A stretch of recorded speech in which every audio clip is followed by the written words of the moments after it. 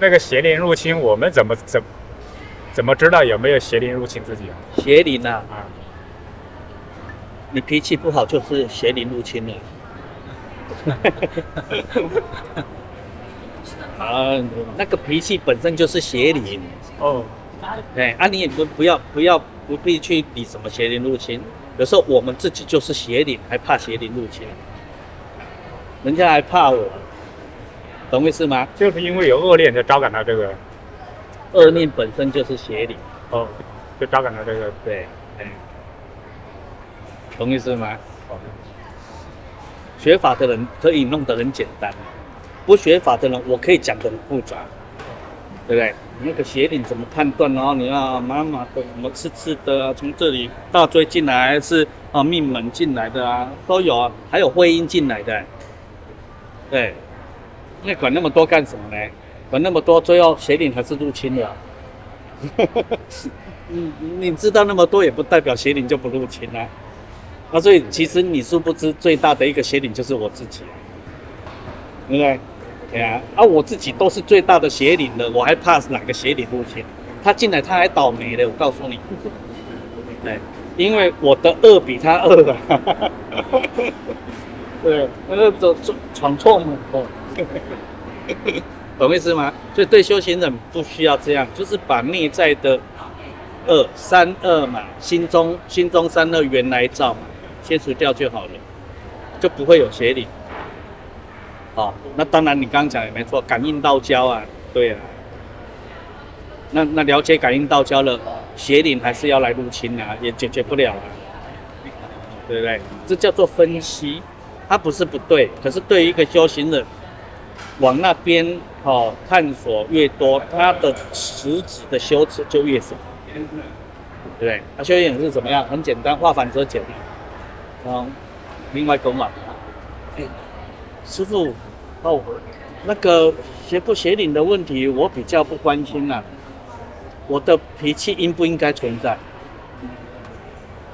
师傅跟你讲不应该啊，那我知道了，以后我不会有坏脾气。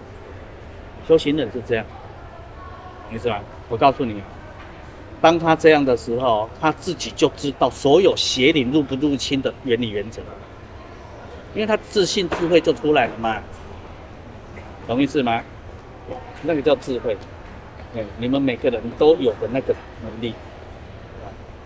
所以，但除障啊，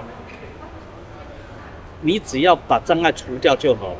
你本真呐、你本来就是真，对不对？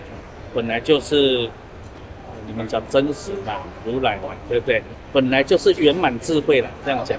那既然是圆满智慧，是不是你本来就会知道？对不对？你那时候是触类旁通啊，触类旁通啊。你没接触到，你会不知道啊？你一接触到，你就知道啊，因为那是我们自信智慧的作用啊。哎，无所不知，无所不能，对不对？那你们会问出来的、知道的，有可能百分之九十九都流于在你那个那一端已经变知识常识而已。对那知识常识解决不了啊，解决不了你的问题啊，还在啊，懂意思吗？那你要先解决你的问题，你自信智慧出来，你自然自己就知道很多。这样可以明白？明白了。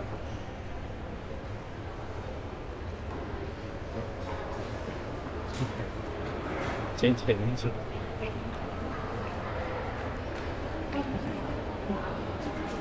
所以你看，你身边都是善缘，对，明白了，明白就是要去落实啊，对不对？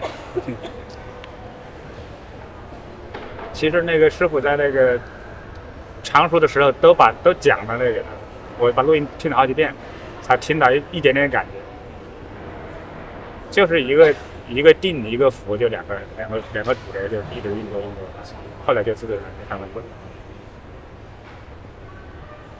就是我们自己糊涂了，把这个很很简单的问题就越搞越复杂越搞。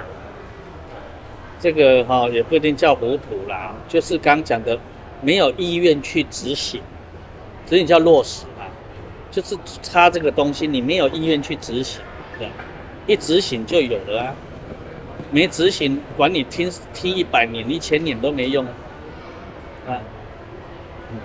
所以修行呢，那个行很重要哎、点。